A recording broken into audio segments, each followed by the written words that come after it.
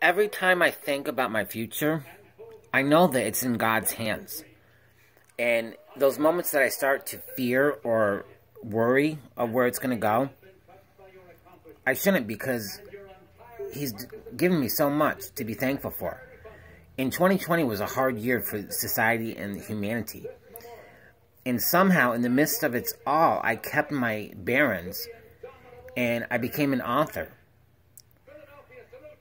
I've always wanted to minister or follow in the footsteps of Tony Roberts and Oprah and Joyce Myers and Joel Osteen. And now I get to do that. He has allowed me to do it not once, but multiple times. 2021 has just started, and I've already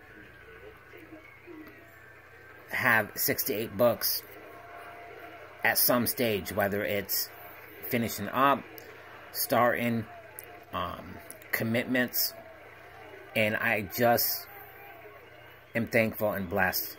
And I hope that 2021 is a better year for us all. But more than anything, I want to thank God and commit again and again.